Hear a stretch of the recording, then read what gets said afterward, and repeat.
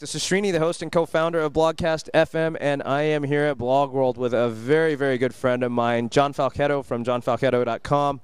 How's it going, John? It's going awesome. I'm loving being here, and uh, it's great to see you again. Yeah, likewise. So you've done a lot of things differently uh, since we last saw you. I mean, when I first met you uh, about a year ago, when we first connected online, your blog was called the Expat Life Coach, and you've made some major branding changes. Tell us a little bit about what was the driver behind that, why you decided to do that, and then we'll kind of get into some tactical things that people can take away from it.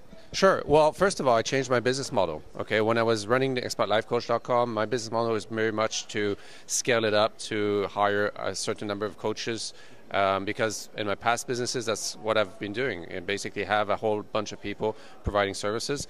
And I decided to change my business model and to really uh, focus on offering a personalized, customized service. Um, from myself to my clients. So I changed my name from Expat Life Coach to johnfalchetto.com because that's pretty much who I'm selling right, right now is myself.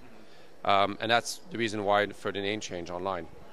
Well, let me ask you this. I mean, for people who are thinking about making that transition from a brand, for example, that they, have built, um, any advice for them if they want to make that transition to coming out at, from behind the brand and being behind their name? Sure. Um, first of all, be absolutely clear why you're making a change. Um, just because you feel that you should put your name out there doesn't mean if it doesn't align with your business model then it's not a good reason right if you're thinking you're going to build the brand and scale it and sell it later then you know don't use your name.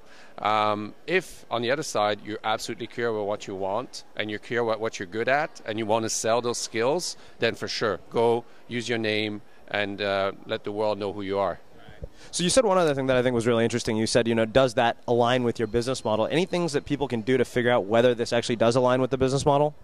Absolutely. The first thing they can do is uh, really define their business model. Uh, you know, basically look at it in a very simple way. A lot of people get confused about what a business model is, but it's actually very simple. It's like, what are you offering? What's your value proposition? Um, who you're offering that to, and how you're going to deliver that. And then, you know, you can look at it how it scales into the future, and that's about it. Um, sorry. And then basically, if you're going to do that on a one-to-one basis by using only yourself and your name, then you have to think about again the same things. What's your value proposition? What are you really good at, and how can you scale that? Great. Well, John, thanks so much for taking the time to join us. Anything else you want to share with the viewers? No, it's a great place, and I really love being a blog world. Right. It's good to talk to you. Thanks a lot.